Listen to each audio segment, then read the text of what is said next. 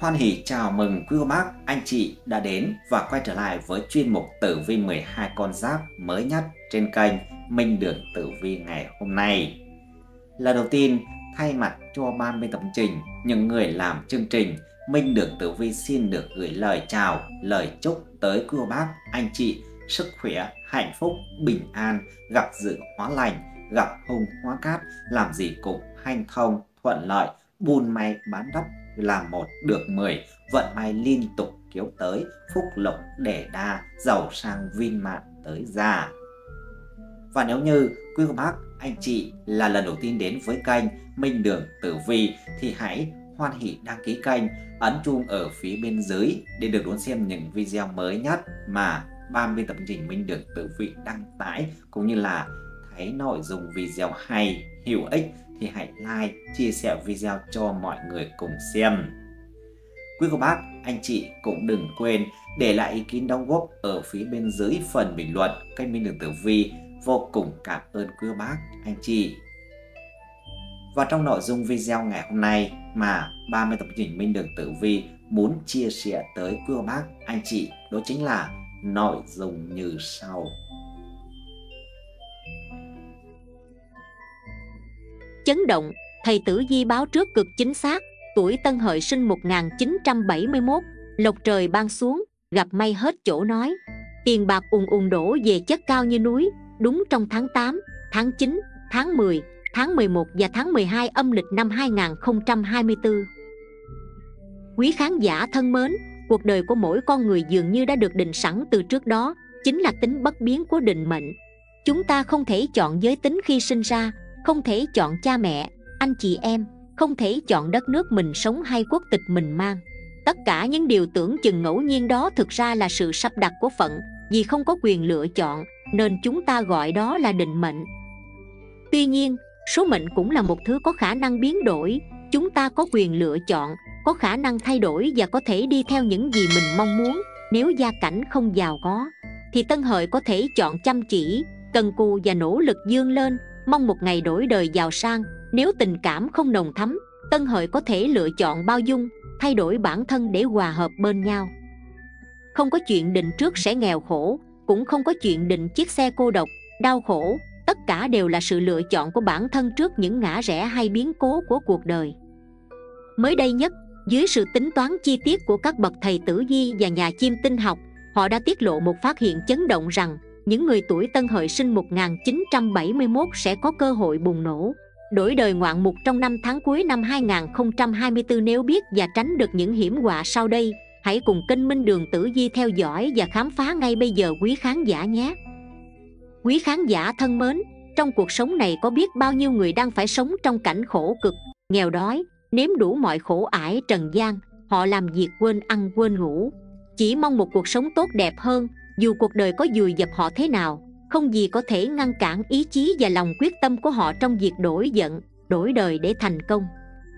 Tử di học cho rằng, trời sinh mỗi người mỗi số mệnh, không phải ai sinh ra cũng mang trên mình căn số phú quý, giàu sang để đạt được những thành quả đó.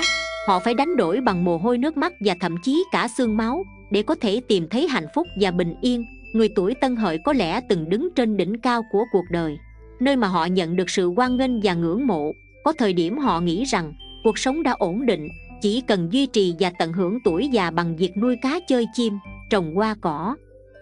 Nhưng đỉnh cao ấy chỉ như đóa phù dung sớm nở tối tàn, số phận đẩy họ lên cao rồi lại dìm xuống đáy một cách tàn nhẫn.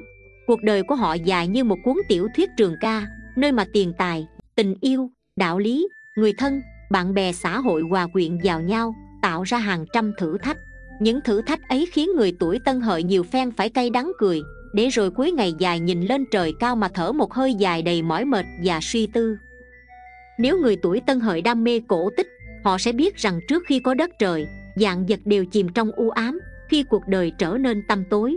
Trắc trở, đó cũng là lúc sự chuyển mình, sự thay đổi thời khắc, đổi cảnh đang đến gần. Hãy luôn nhớ tân hợi là ai.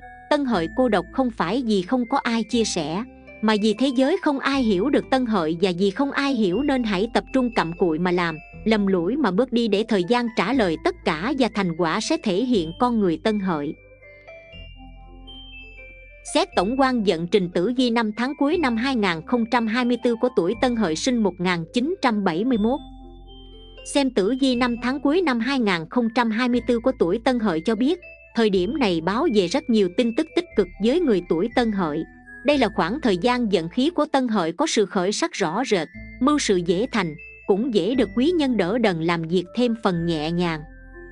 Xem tử di sự nghiệp của tuổi Tân Hợi vào năm tháng cuối năm 2024 âm lịch Tân Hợi đang nhận được rất nhiều sự hậu thuẫn từ giận khí Khi cục diện tam hội đứng bóng Lại thêm nguyệt lệnh tâm quan báo về độ chính của các kế hoạch Mưu cầu công danh, chức vụ Hứa hẹn những tin tức tích cực sẽ đến với bản mệnh trong năm tháng cuối năm 2024 này Tân Hợi có thể nhận được sự giúp đỡ của quý nhân Nên công việc có những bước tiến triển khả quan Thái độ làm việc hăng hái và nghiêm túc giúp Tân Hợi gặt hái những thành tích đáng nể. Đa phần thời điểm này, Tân Hợi sẽ cảm thấy vô cùng bình tĩnh và sáng suốt trong công việc. Hầu hết mọi thứ đều nằm trong tầm kiểm soát của Tân Hợi. Chính thái độ tích cực, lạc quan này sẽ giúp Tân Hợi giải quyết mọi khó khăn trong thời điểm năm tháng cuối năm. Hơn nữa, Tân Hợi đặt ra lộ trình rõ ràng và cụ thể, cứ thế mà tiến hành theo kế hoạch đã định, thì sớm muộn gì cũng đi tới đích trong mọi tình huống, hãy trực tiếp là người đảm nhiệm công việc. Hạn chế nhờ giả hay giao phó cho người khác để hạn chế việc mắc lỗi mà tân hợi không nắm được. Điều đó cũng giúp nâng cao khả năng làm việc giúp tân hợi nắm bắt cơ hội tốt hơn. Dù vậy thời điểm cuối năm sức cạnh tranh cũng như khối lượng công việc sẽ có xu hướng gia tăng. Do đó, bản mệnh cũng nên cảnh giác chú ý đến những thay đổi xung quanh mình và sẵn sàng đối phó với những thách thức có thể nảy sinh, nhất là với những người đang có tham vọng thay đổi vị trí, chức vụ. Người tuổi tân hợi sẽ có những sự kèn cựa, so bì với đồng nghiệp cạnh tranh cùng vị trí, thích thể hiện nhiều hơn. Hơn nữa, trong quá trình hợp tác với người khác người tuổi tân hợi rất quan tâm đến địa vị của bản thân và luôn muốn chiếm vị trí thống trị. Điều này có thể gây ra sự bất mãn từ người khác. Nếu tân hợi luôn ở trong trạng thái này, nó cũng sẽ khơi dậy tính cạnh tranh của người khác. Điều này sẽ dẫn đến những mâu thuẫn gay gắt hơn ở nơi làm việc. Do đó, tân hợi cần chú ý hơn tới cách hành xử. Nếu không rất có thể gặp rắc rối trong mối quan hệ với đồng nghiệp, đối tác, tạo thành ảnh hưởng không tốt đến cuộc sống và sự nghiệp. Thậm chí tân hợi có thể vì điều này mà trở thành người bị cô lập trong tập thể. Nhìn chung, trong năm tháng cuối năm 2024 này, tân hợi có những thuận lợi nhất định. Nhưng bên cạnh đó vẫn tồn tại một số thử thách. Chỉ cần tân hợi giữ thái độ tích cực và niềm tin vững vàng, tân hợi sẽ có thể vượt qua khó khăn và đạt được thành công. Ngoài ra, khả năng giao tiếp và hợp tác tốt với đồng nghiệp, lãnh đạo cũng là chìa khóa thành công trong sự nghiệp của Tân Hợi. Tử vi năm tháng cuối năm 2024 của 12 con giáp âm lịch cho thấy phương diện tài lộc của người tuổi Tân Hợi có sự thăng trầm trong năm tháng cuối năm này. Mặc dù sự nghiệp của người tuổi Tân Hợi sẽ rất suôn sẻ và Tân Hợi có thể nhận được một số lợi ích từ nó nhờ sự chăm chỉ của mình, nhưng vì nhiều lý do khách quan, bản mệnh vẫn phải gồng gánh một gánh nặng tài chính nhất định áp lực cuộc sống vật chất vẫn rất cao ban đầu tài vận năm tháng cuối năm có nhiều khởi sắc chính tài và thứ tài đều có dấu hiệu tăng, sự nghiệp phát triển không chỉ đảm bảo thu nhập ổn định, mà còn hứa hẹn những khoản kiếm thêm hoặc thưởng hậu hĩnh, người làm kinh doanh vẫn đang điều tiết tốt việc buôn bán. Tam hội hứa hẹn một khoảng thời gian khách hàng gia tăng, lợi nhuận đổ về, các mối hợp tác cũng mới sẽ diễn ra suôn sẻ, giúp tân hợi có thể yên tâm. Tuy nhiên, tân hợi cần có kế hoạch chi tiêu rõ ràng để tránh bị thâm hụt tài chính và tiêu tốn vào các khoản không đâu nhất là khi điềm báo tử di cho thấy bản mệnh có xu hướng sử dụng khoản tiền không nhỏ để mở rộng công việc, tìm kiếm mối làm ăn, duy trì các mối quan hệ. Đặc biệt là chi trả cho các nhu cầu cần thiết của cuộc sống.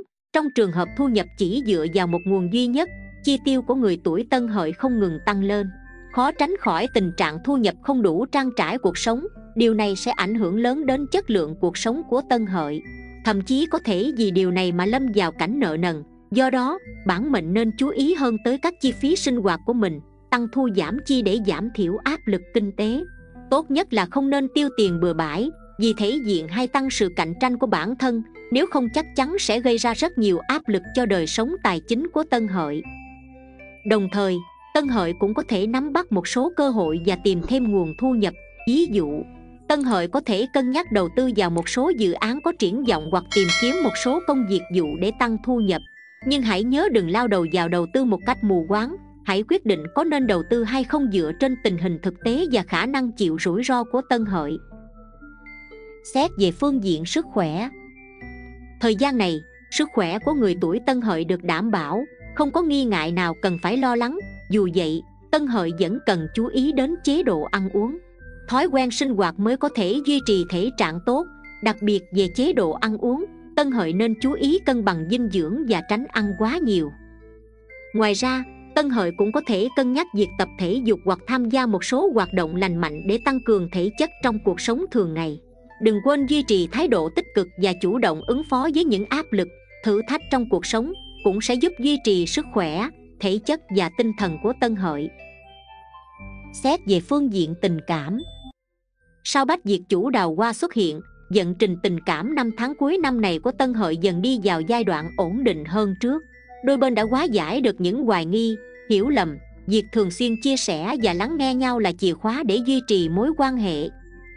Gia đạo an yên, vợ chồng con cái hài hòa, không phát sinh mâu thuẫn nào quá gay gắt. Tuy nhiên, gia đình khó tránh những lúc cơm chẳng lành canh chẳng ngọt. Khi xảy ra bất cứ vấn đề gì, vợ chồng đóng cửa bảo nhau không nên to tiếng trước mặt con trẻ và người lớn trong nhà kiểu ảnh hưởng tới tinh thần cả gia đình sau đây sẽ là phần luận giải dẫn trình tử vi chi tiết tháng 8, tháng 9, tháng 10, tháng 11 và tháng 12 âm lịch năm 2024 của tuổi Tân Hợi sinh 1971. Tử vi tháng 8 âm lịch năm 2024 của tuổi Tân Hợi sinh 1971. Xét về phương diện công danh, sự nghiệp Tháng này, sự nghiệp của tuổi Tân Hợi có gặt hái được thành công hay không phụ thuộc phần lớn vào tinh thần làm việc của bạn. Trên thực tế thì tháng 8 âm lịch này, các mối quan hệ xã giao của bản mệnh đều khá bình ổn, bạn không bị kẻ tiểu nhân cố tình cản trở. Nguyệt lệnh mộc dục cho thấy, con giáp này chưa xác định được rõ ràng mục tiêu tương lai cho mình, vì thế mà bạn thường làm việc với thái độ đối phó được đến đâu hay đến đấy. Bạn đề cao việc hưởng thụ hơn là cống hiến, vì thế mà dù trông thấy người khác vượt qua mình bạn cũng không thấy quá sốt sắng. Bên cạnh đó con giáp này còn thường đưa ra những quyết định nông nổi theo cảm hứng nhất thời. Chính vì vậy mà khi bắt tay vào thực hiện công việc bạn thấy mình gặp phải nhiều khó khăn hơn. Tưởng tượng những lúc như thế này mà bỏ cuộc giữa chừng thì bạn dễ bị lãnh đạo đánh giá thấp gây thêm phiền phức cho mọi người xung quanh thiên cẩu hung tinh khuyên tuổi tân hợi cần chú ý hơn trong cách hành xử, chớ khoe mẽ phô trương mà trở thành kẻ múa rìu qua mắt thợ. Khiến người khác chê cười, ảnh hưởng đến hình tượng của bản thân, muốn gặt hái được thành công, nguyệt mã khuyên bạn nên nhiệt tình hơn với nhiệm vụ. Đừng ngại đi xa công tác hoặc bồi dưỡng nghiệp vụ, những chuyến đi này sẽ giúp bạn tích lũy được nhiều kiến thức và kinh nghiệm hữu ích cho tương lai. Xét về phương diện tài lộc tình hình tài chính của tuổi tân hợi trong tháng 8 âm lịch này không có dấu hiệu tăng trưởng, thậm chí còn suy giảm nhẹ. Bạn cần xem lại cách làm việc cũng như cách chi tiêu của mình, như vậy thì mới bảo toàn được số tiền trong túi. Thời điểm này, bản mệnh hãy đưa ra những quyết định làm ăn kinh doanh thận trọng hơn, chớ nên chạy theo xu thế thị trường rồi lại bỏ giờ giữa chừng, khiến những khoản tiền đầu tư trước đó đổ sông đổ bể. Người làm công ăn lương cũng cần nghiêm túc hơn với các nhiệm vụ được phân công nếu không bạn dễ để xảy ra lỗi bị trách phạt hoặc phải bỏ tiền túi ra để đền bù cho những sai sót của mình Nguyệt lệnh mộc dục cho thấy thá này con giáp này sẽ tốn khá nhiều tiền bạc vào các hoạt động vui chơi, giải trí hoặc trưng diện cho bản thân. Hãy chi tiêu khoản tiền đúng với mức thu nhập của mình, chớ nên chạy theo xu thế của thị trường đến mức đẩy bản thân vào cảnh cháy túi hoặc phải vay mượn người khác. Nếu muốn kiếm tiền vào trong túi, bạn có thể thử sức với những công việc tay trái, với điều kiện tuổi tân hợi sắp xếp được thời gian của mình khoa học. Người làm ăn đừng ngại buông ba vất giả, để mở rộng thêm quy mô kinh doanh hoặc đối tượng khách hàng của mình. Công sức bạn bỏ ra vào thời điểm này sẽ được trả công xứng đáng trong tương lai. Xét về phương diện tình duyên gia đạo. Tháng này phương diện tình duyên của tuổi tân hợi có những bước phát triển rực rỡ bản mệnh giữ được tinh thần lạc quan tích cực nên hạnh phúc cũng sẽ tự tìm đến với bạn người độc thân biết chú ý hơn đến ngoại hình của mình, lại tự tin hơn trong giao tiếp. Nên đi đến đâu bạn cũng có thể trở thành trung tâm của mọi sự chú ý. Nhiều người sẽ chủ động làm quen với bạn, nhưng hãy bình tĩnh để tìm ra người chân thành với mình nhé. Một số người cũng đã bước qua được những tổn thương trong quá khứ và mở cửa trái tim để chờ đợi tình yêu mới. Nếu được ai đó giới thiệu cho đối tượng, bạn hãy thử trò chuyện và tiếp xúc xem sao. Biết đâu bạn sẽ nhận thấy đối phương cũng phù hợp với mình với người đã có gia đình, bạn dành nhiều thời gian ở bên người thân, cùng nửa kia san sẻ các công việc nhà và trò chuyện cùng với cha mẹ. Con cái, mối quan hệ giữa các thành viên có dấu hiệu gắn kết hơn hẳn khoảng thời gian trước đó, những mâu thuẫn, tranh cãi cũng có dấu hiệu giảm bớt hẳn. Bạn và người ấy biết đặt mình vào vị trí của đối phương, nên mọi vấn đề đều có thể được giải quyết một cách bình yên, thậm chí, thử thách xuất hiện cũng giúp hai người thêm hiểu và trân trọng nhau xét về phương diện sức khỏe. Nhìn chung, sức khỏe của tuổi tân hợi trong tháng 8 âm lịch này ổn định, bạn luôn lạc quan, vui vẻ, nên dù có bệnh tật cũng bị đẩy lùi. Ngoài ra, khoảng thời gian này bản mệnh cũng đã quan tâm hơn đến sức khỏe của bản thân và giữ gìn dáng dốc bằng cách ăn uống điều độ. Sinh hoạt có giờ giấc, sắp xếp thời gian để rèn luyện thể dục thể thao, nhờ thế mà bạn lúc nào cũng cảm thấy khỏe mạnh và tràn đầy sức sống thông qua quá trình rèn luyện sức khỏe bạn cũng mở rộng thêm được mối quan hệ của mình quen biết với bạn bè mới có ích cho sau này. Tử vi tháng 9 âm lịch năm 2024 của tuổi Tân Hợi sinh 1971 Xét về phương diện công danh, sự nghiệp. Tháng này, dần khí của tuổi Tân Hợi lên xuống thất thường nên tinh thần làm việc của bạn cũng bị ảnh hưởng ít nhiều. Con giáp này gặp khó khăn trong việc triển khai các kế hoạch của bản thân. Mọi thứ như chững lại, bế tắc lên miên. Những vấn đề mà bản mệnh gặp phải trong thời gian này đa phần đều xuất phát từ việc bạn đánh mất niềm hăng hái cho công việc. Bạn làm việc như một cỗ máy vô hồn thiếu ý tưởng sáng tạo phương pháp cũ rích. Không phải lúc nào vấn đề xảy ra cũng có thể áp dụng những cách xử lý cũ. Bất cập cũng xuất hiện chính từ đây do không được nguyệt lệnh ủng hộ lại cũng không có các tin che chở. Mọi việc đều cần phải dựa vào bản thân là chính nếu tuổi tân hợi không sớm chấn chỉnh chính mình, áp lực ngày càng gia tăng, khi đó, dù bạn có muốn khắc phục cũng chẳng hề dễ dàng. Tháng này không thích hợp để bản mệnh mở mang công việc mới, bạn vẫn nên làm tốt những việc được giao phó trước mắt thì hơn. Thời điểm này, bạn chưa đủ hào hứng cần thiết để theo đuổi mục tiêu, gặp một chút khó khăn rất dễ nản trí, từ bỏ hết mọi nỗ lực và công sức xây dựng kế hoạch từ trước đó một cách lãng phí. Với những việc đang tiến hành gian dở làm gì con giáp này cũng thận trọng, kẻo dự tính không theo kịp thực tế. Tốt nhất bạn nên lập sẵn phương án để đề phòng, thậm chí có thể đưa ra tình huống xấu nhất có thể xảy ra. Từ đó tìm cách ứng phó một cách hiệu quả nhất.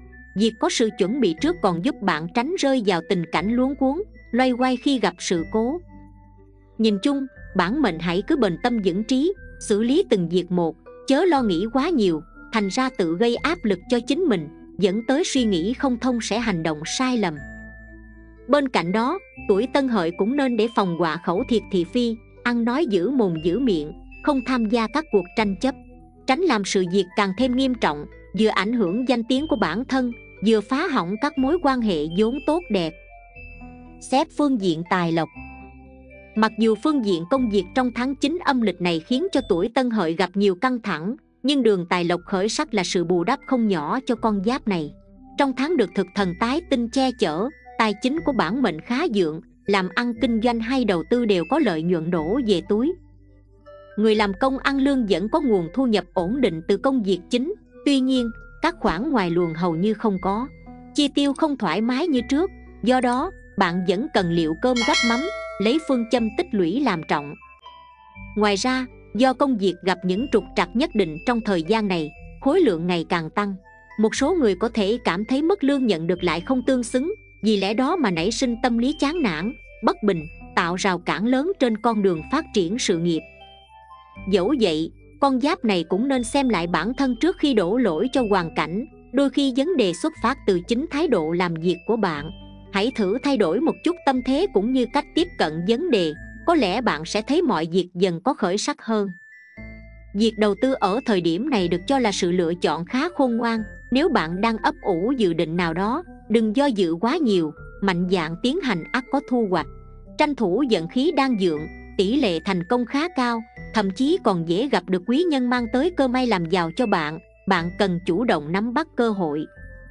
Dù vậy Vận may sẽ chỉ đến với những ai có những tính toán cụ thể Và nắm được điều cốt lõi của mục tiêu mà bản thân đang theo đuổi. Đừng quên vận khí vẫn chưa ổn định Làm việc sốc nổi, bốc đồng hay chạy theo cái lợi trước mắt mà bất chấp rủi ro thì kết cục sẽ rất đáng. Xét về phương diện tình duyên, gia đạo. Tháng 9 âm lực này, nhờ có đào hoa bách diệt chiếu mệnh chuyện tình cảm của tuổi tân hợi sẽ có rất nhiều hứa hẹn bất ngờ tình cảm hôn nhân của người đã có gia đình ngày càng khăng khít mặn nồng, sau khi đôi bên cùng nhau trải qua không ít sóng gió, biến cố của cuộc đời đời sống vợ chồng hài hòa, gia đạo an yên. Tuy nhiên, đào hoa quá dượng không phải lúc nào cũng tốt, nhất là với người đã lập gia đình, bản mệnh cần đề phòng thu hút đào hoa xấu. Không nghiêm túc giữ mình thì rất dễ sang ngã trước cám dỗ, tạo cơ hội cho kẻ thứ ba chen chân phá hoại tình cảm. Nhân duyên rộng mở trong tháng lại rất tốt cho người độc thân con giáp này được nhiều người để ý có nhiều sự lựa chọn quan trọng là bạn có muốn điều đó hay không thôi. Có thể do có nhiều vệ tinh xuất hiện cùng lúc khiến bạn do dự thiếu quyết đoán nhưng dù thế nào hãy có sự dứt khoát trong việc lựa chọn đối tượng cho mình. Đừng đứng núi này trong núi nọ ngập ngừng với người nọ mập mờ với người kia mà tự đẩy bản thân vào rắc rối tình cảm. Xét về phương diện sức khỏe. Trong tháng 9 âm lịch này, tuổi tân hợi sẽ cần đặc biệt lưu tâm tới phương diện sức khỏe của mình. Đây là tháng nguyệt lệnh lâm cung bệnh. Dẫn trình sức khỏe của con giáp này giảm sút Sức đề kháng kém, toàn thân suy nhược, đau ốm khó tránh Bất cứ dấu hiệu bất thường nào cơ thể phát ra đều có thể là lời cảnh báo. Nhắc nhở bạn chớ nên chủ quan Tinh thần uể oải cũng ảnh hưởng trực tiếp tới thể chất Bản mệnh nên điều chỉnh tâm lý học cách suy nghĩ thoáng mọi chuyện thì khó khăn nào cũng qua. Bên cạnh đó Dẫn trình thắng tiềm ẩn nhiều yếu tố bất ngờ đa phần trong số đó là điều xui xẻo cho cơ thể. Vì vậy bạn cần cẩn tắc vô ưu chủ động dưỡng sinh bảo vệ sức khỏe đi lại thận trọng sẽ tránh được quả huyết quang. Tử vi tháng 10 âm lịch năm 2024 của tuổi Tân Hợi sinh 1971 Xét về phương diện công danh, sự nghiệp. Tháng này phải đương đầu với thái tuế dự báo một tháng không hung thì họa mưu sự chật vật với tuổi tân hợi, bỏ ra nhiều công sức nhưng chưa chắc đã thu về thành quả mong muốn. Từ hình án ngữ, vận trình sự nghiệp của bản mệnh có nhiều trì trệ, nguyên nhân chủ yếu do chính tinh thần uể oải của bạn gây ra. Tháng này mặt cảm xúc của bạn có nhiều thay đổi, làm gì cũng không thấy hăng hái, thường xuyên mệt mỏi, lười biếng, càng không có sự cố gắng, việc cũ việc mới thường xuyên bị tồn động. Con giáp này luôn kiếm cớ trì hoãn tới lúc nào hay lúc ấy nhưng điều đó chỉ càng khiến mọi việc thêm bế tắc. Đó là nguyên nhân chủ yếu khiến bạn dậm chân tại chỗ, khó có cơ hội phát triển. Ngoài ra, tuổi tân hợi còn có thể gặp khó khăn trong những công việc đòi hỏi làm nhóm hay làm chung với người khác, chủ yếu do bạn có xu hướng tách biệt với mọi người. Không muốn hợp tác mà chỉ muốn một mình làm cho xong việc, bản mệnh luôn né tránh việc giao lưu, thái độ làm việc thì bảo thủ. Cứng đầu, chỉ thích làm mọi việc theo ý mình điều này cũng sẽ gây ảnh hưởng ít nhiều cho người xung quanh, thậm chí làm xấu đi các mối quan hệ của bạn. Trạng thái làm việc sa sút khiến nhiều người có cảm giác chán nản, nảy sinh suy nghĩ muốn nhảy việc. Tuy nhiên, đây cũng đã là tháng cận kề cuối năm. Ý định thay đổi công việc là không phù hợp, bạn nên suy xét kỹ càng, chớ bồng bột đưa ra quyết định nóng dội kẻo tiến thoái lưỡng nan, đi không được mà ở cũng chẳng xong. Lưu ý, tháng này có nguyệt lệnh lâm đế dượng ngụ ý giận khí sẽ dần tăng, có thể sẽ có những khó khăn ban đầu. Nhưng chỉ cần con giáp này ý thức được trách nhiệm của mình, chủ động thái độ thay đổi, hành sự không nóng dội, thì chuyện đâu sẽ có đó. Kiên trì nhẫn nại sẽ dẫn tới thành công, cơ hội không tự nhiên mà đến vậy nên bạn phải chủ động tạo ra nó. Ngoài ra, sự cộng tác với đồng nghiệp và lãnh đạo là rất quan trọng. Việc duy trì giao tiếp và hợp tác tốt với họ có thể giúp bạn hoàn thành nhiệm vụ công việc tốt hơn và cũng có lợi cho sự phát triển nghề nghiệp trong tương lai của bạn. Nhìn chung, tháng này tuổi tân hợi cần phải chuẩn bị sẵn sàng tư tưởng cho mình, chớ vì một rắc rối bất chợt xảy ra mà thành ra bi quan, chán nản, thậm chí là bỏ cuộc. Muốn mọi thứ có chuyển biến tích cực, trước hết bạn nên bắt đầu thay đổi từ chính bản thân mình, xốc lại tinh thần làm việc thay vì đổ lỗi cho hoàn cảnh khách quan. Xét về phương diện tài lộc tháng 10 âm lịch này, tình hình tài chính của tuổi tân hợi không có dấu hiệu phát triển tích cực, thậm chí còn có thể thụt lùi, bản mệnh chịu ảnh hưởng của thái tuế. Đương đầu với nhiều lực cản, đủ chuyện xui xẻo có thể ập tới bất ngờ, việc kiếm tiền trở nên chật vật hơn, dù có nỗ lực nhưng kết quả rất chậm hoặc gần như chưa thấy tác dụng gì. Ở thời điểm này, với người làm công ăn lương, công việc chính mang tới nguồn thu nhập ổn định nhưng lại gặp nhiều khó khăn có thể ảnh hưởng tới nguồn lương cố định của bạn. Tháng này, bạn phải dành nhiều thời gian để khắc phục khó khăn hơn là tập trung phát triển đi lên khẳng định giá trị bản thân, nên lương thưởng cũng kém đi ít nhiều. Với người làm kinh doanh, việc buôn bán kinh doanh túc tắc vẫn có lợi nhuận, nhưng còn kém xa với lợi nhuận mong muốn của bạn.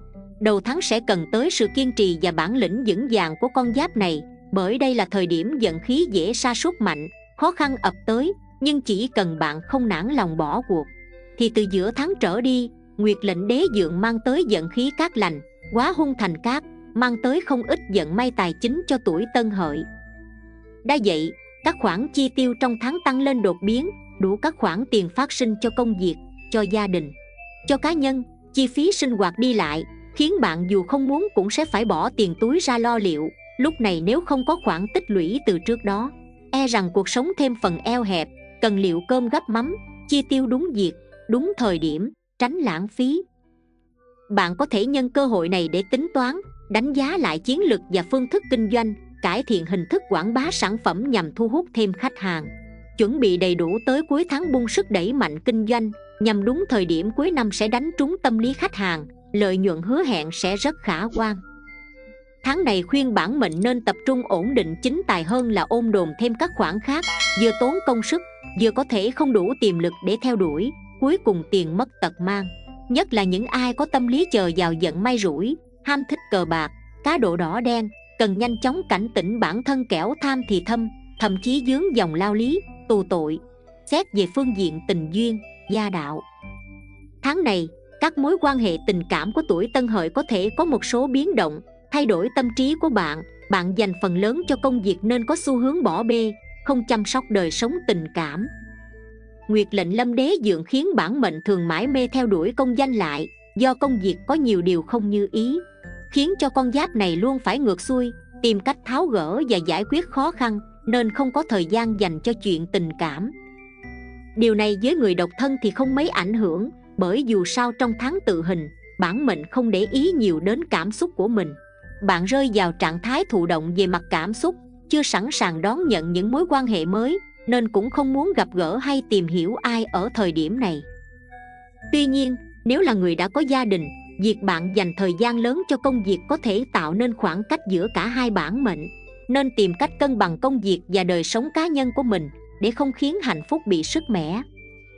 Thời gian này, mối quan hệ của vợ chồng bạn có thể phải đối mặt với một số thử thách, đòi hỏi cả hai phải cùng nhau vượt qua, đồng thời đó cũng là cơ hội để đôi bên cùng nhau phát triển và hoàn thiện. Xét về phương diện sức khỏe, may mắn là tình hình sức khỏe của tuổi tân hợi tháng này vẫn ở vào mức ổn định. Chỉ cần bạn chú ý điều chỉnh nhịp sống và công việc của mình, thì gần như không có vấn đề nào phải lo lắng. Dù phải đối mặt với nhiều khó khăn, trắc trở, song bạn vẫn không quá mất nhục chí. Những suy nghĩ tích cực sẽ góp phần giúp con giáp này cảm thấy phấn chấn, khỏe mạnh hơn việc chú ý đến an toàn là rất cần thiết. Tháng này, tuổi tân hợi nên cẩn thận chú ý nhiều hơn đến từng chi tiết trong cuộc sống. Sẽ có nhiều lợi ích cho sức khỏe, đặc biệt là đừng quên học cách chăm sóc bản thân. Ngoài ra, bạn cũng nên xây dựng chế độ ăn uống lành mạnh, duy trì tập luyện và nghỉ ngơi hợp lý, tránh làm việc quá sức. Kiểm tra sức khỏe thường xuyên và duy trì thói quen sinh hoạt tốt có thể giúp bạn khỏe mạnh và tràn đầy năng lượng. Tử vi tháng 11 âm lịch năm 2024 của tuổi Tân Hợi sinh 1971 Xét về phương diện công danh, sự nghiệp Sự nghiệp của tuổi Tân Hợi có nhiều điểm sáng đáng kể trong tháng 11 âm lịch này do rất nhiều yếu tố thuận lợi xuất hiện. Có thể thấy rằng mọi kế hoạch bạn đặt ra ở thời điểm hiện tại đều sẽ tiến triển đều đặn, thậm chí còn trôi chảy bất ngờ. Tam hội đem tới quý nhân, giúp con giáp này tìm ra định hướng phát triển, dù có đang mơ hồ về tương lai của mình đi nữa. Bạn cũng dần dần hiểu được thêm về các thế mạnh của mình, từ đó dần xác định được đâu là con đường chính xác. Với tính cách hài hòa cởi mở bản mệnh cũng nhận được sự yêu mến của nhiều người xung quanh. Tháng này bạn không cần lo lắng phải đối diện với khó khăn bởi xung quanh bạn không thiếu người sẵn sàng giúp đỡ. Hãy tự tin nhận các nhiệm vụ khó khăn và mang tính thách thức bởi lâm quan sẽ giúp tuổi tân hợi thêm minh mẫn sáng suốt nhanh chóng tìm ra hướng giải quyết công việc. Nếu hoàn thành tốt nhiệm vụ được giao, bạn hoàn toàn có cơ hội lọt vào mắt xanh của cấp trên, nhận được lời tuyên dương, thậm chí là quyết định thăng chức. Xét về phương diện tài lộc, tháng này, tuổi tân hợi cũng sẽ liên tiếp nhận những tin mừng liên quan đến tài lộc. Bạn có nhiều cơ hội thu tiền về đầy túi. Vấn đề chi tiêu cũng không còn phải cân nhắc quá kỹ càng như trước. Tam hội đem về nhiều công việc làm ăn triển vọng cho con giáp này việc của bạn là lựa chọn công việc nào phù hợp nhất với mình, không nên ôm đồn quá mức khiến cho cơ thể mệt mỏi mà chưa chắc đã đạt hiệu quả cao.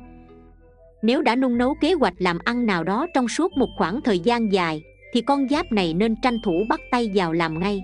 Quá trình thực hiện bạn sẽ còn gặp được thêm nhiều yếu tố thuận lợi hơn nữa, cuối cùng sẽ chạm tay tới cái đích mình đặt ra.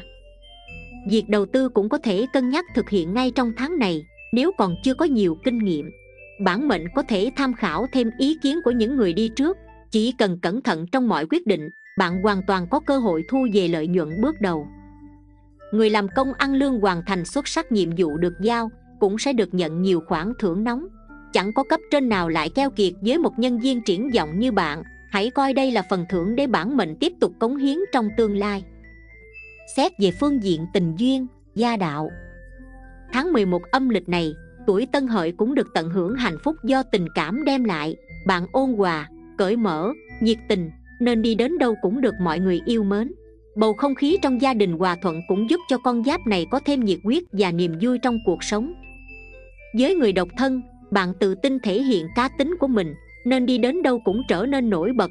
Bản mệnh thu hút mọi người xung quanh bởi lối hành xử duyên dáng, cũng như tính cách hài hước nhưng không kém phần tinh tế của mình. Nếu phải lòng ai đó bạn hãy tìm cách kéo gần mối quan hệ với đối phương. Chỉ cần bạn chân thành thì không lo đối phương không rung động. Ngược lại, nếu được ai đó bày tỏ sự quan tâm, bạn cũng nên thử cân nhắc và dành cho đối phương cơ hội.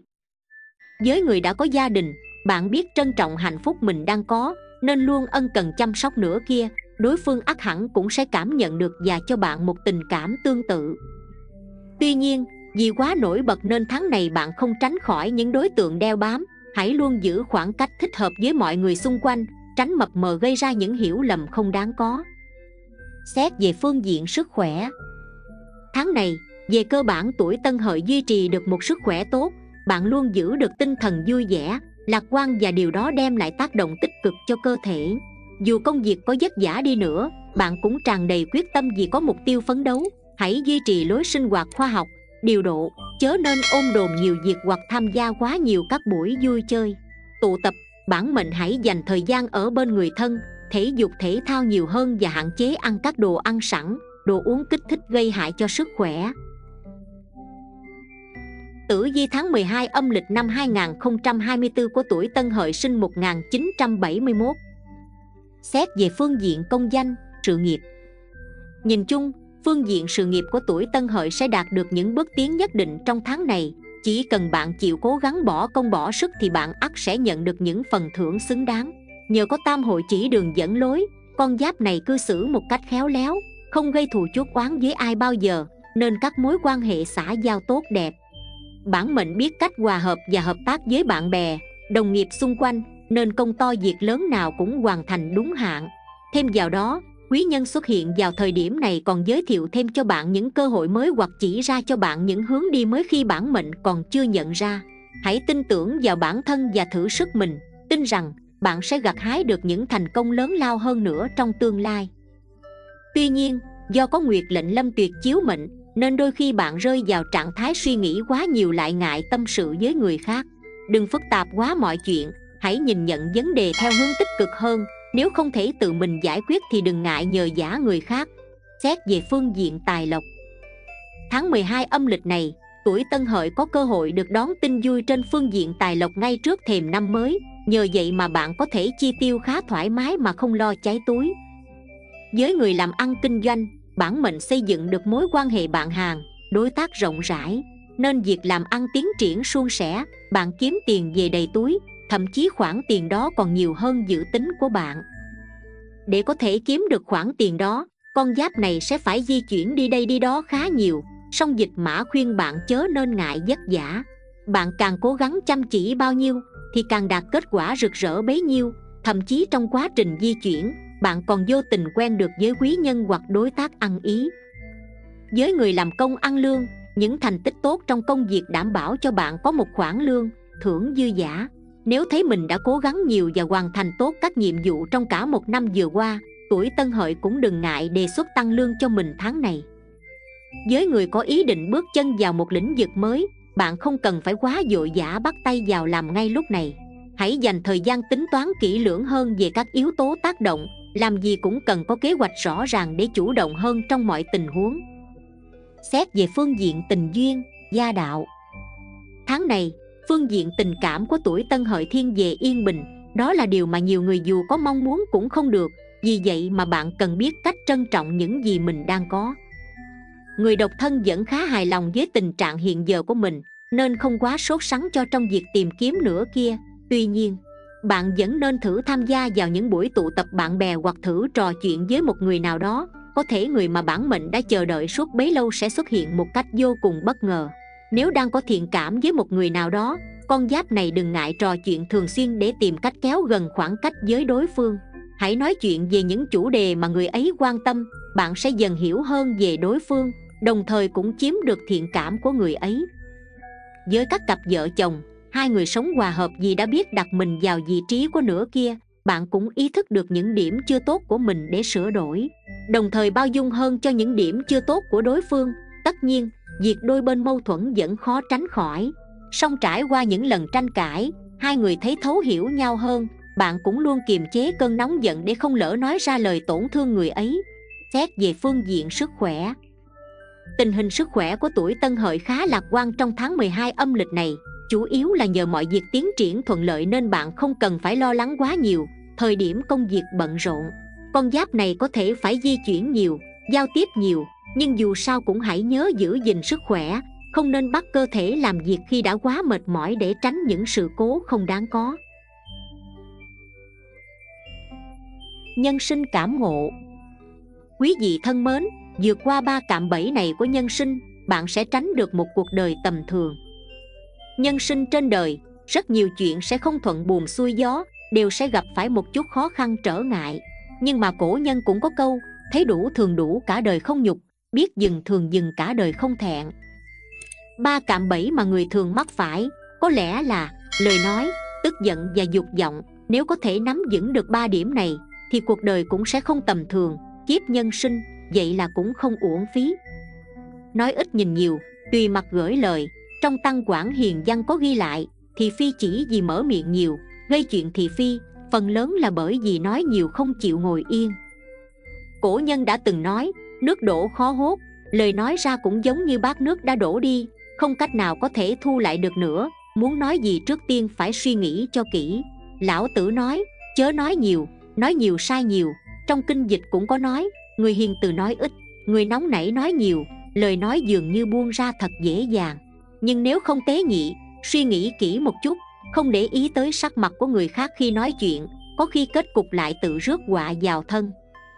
Nói tùy tiện không kiên nệ gì ai, cũng không cần biết người khác như thế nào. Đây là sai lầm lớn nhất của kiếp nhân sinh. Tránh tức giận, học cách nhẫn nại. Trong tăng quảng hiền văn có ghi lại, nhẫn được cơn giận một lúc, tránh được mối lo trăm ngày. Chữ nhẫn, ở trên là lưỡi dao, dưới là trái tim. Dù cho có đau đớn như dao cứa vào tim, thì người làm việc đại sự cũng không thể tức giận. Gia cát lượng trong lần bắt phạt cuối cùng, từng giằng co với tư mã ý cả trăm ngày trong lúc gia cát lượng nhiều lần khiêu chiến, tư mã ý cố thủ không chịu ra ứng chiến, gia cát lượng không còn cách nào, mới phái người đưa sang cho tư mã ý một bộ quần áo của đàn bà. Nhưng tư mã ý vẫn có thể nhẫn nhịn được, mà không thèm để ý đến người bình thường gặp phải tình huống này, thì sẽ không thể chịu được mà nổi sung lên. Mấy ngày sau, thì gia cát lượng mắc bệnh mà chết trên gò ngũ trượng, quân ngụy không chiến mà thắng. Sau trận chiến này tư mã ý đạt được danh vọng chưa từng có, dần dần nắm giữ quyền hành của ngụy quốc, đặt nền móng cho triều đại nhà tấn. Thử nghĩ nếu tư mã ý không nhẫn nại được, rơi vào cái bẫy khiêu chiến của gia cát lượng, vậy thì kết cục của ông chắc chắn sẽ không thể tốt được như thế. Tuân tử từng nói nộ bất quá đoạt, hỷ bất quá dư. Ý tức là, lúc tức giận cũng phải có chừng mực, khi vui vẻ cũng không được quá phận. Dù là lúc nào cũng phải nhớ rằng, không thể chỉ vì một sự tình mà khiến cho cảm xúc bị chi phối, phải nhẫn nhịn được cái tâm tình của bản thân. Đây chính là tu dưỡng, cũng là một loại đạo xử thế, dễ nóng giận thì sẽ không thể nhẫn nại được, lòng dạ hẹp hòi, đây là sai lầm thứ hai của kiếp nhân sinh. Tham lam vô độ, bị dục vọng khống chế, trong tăng quản hiền văn có ghi, thấy đủ thường đủ, cả đời không nhục, biết dừng thường dừng, cả đời không thẹn. Người biết đủ sẽ rất vui vẻ hạnh phúc bởi vì bọn họ sẽ không bị dục vọng làm giấy bẩn, cũng sẽ không bị dục vọng sai khiến. Khi làm việc gì không thể vì chút dục vọng, mà làm cho đến tuyệt tình, làm gì cũng phải lưu lại một chút khoảng trống. Như vậy mới không tạo thành sai lầm, để rồi phải hối hận mãi về sau. Dục vọng là từ đâu? Sự nhục nhã từ đâu mà có? Cũng chỉ là hai chữ biết đủ. Lão tử từng nói, biết đủ thì không nhục, biết dừng lại thì không nguy, thế mới có thể lâu dài những lời này chính là nói người ta, sống thì phải biết đủ, người không biết đủ thì sẽ trở nên tham lam, cứ cố gắng lao đầu về phía trước. Như vậy thì cách tai họa cũng không còn xa nữa. Có câu rằng, thân hậu hữu dư dông xúc thủ, nhãn tiền vô lộ tử hồi đầu, tạm dịch, sau lưng có đường lui nhưng không chịu buông tay. Trước mắt muốn quay trở về cũng không còn lối, câu nói ấy thật sâu sắc, là một lời ám chỉ của người xưa, chẳng phải nhắc nhở chúng ta phải cảnh giác đó sao? Khi bị dục vọng điều khiển, biết rõ phía trước là vực sâu thẳm, nhưng vẫn cứ nhắm mắt làm liều, không chịu dừng lại, hãm sâu vào nơi tâm tối. Đến lúc bị dục vọng khống chế, thì hối hận cũng đã muộn. Trong đạo đức kinh cũng có nói, yêu nhiều ắt sẽ tổn nhiều, chất chứa nhiều ắt sẽ mất nhiều. Nếu không kịp thời khắc chế dục vọng, thì đâu chỉ có mất và tổn đơn giản như vậy. Tham lam vô độ, không biết tiết chế, bị dục vọng điều khiển đây chính là cái bẫy thứ ba của kiếp nhân sinh, đời người phiền não, không kể hết được. Chỉ cần nhẫn được thì ngày mai trời lại sáng, thân nơi bóng tối gặp phải nghịch cảnh, cũng không được ủ rũ, tĩnh tâm lại tìm ra nguyên nhân phía trước sẽ là bầu trời xanh. Quý vị thân mến, chương trình đến đây là hết. Xin chào và hẹn gặp lại trong các video tiếp theo.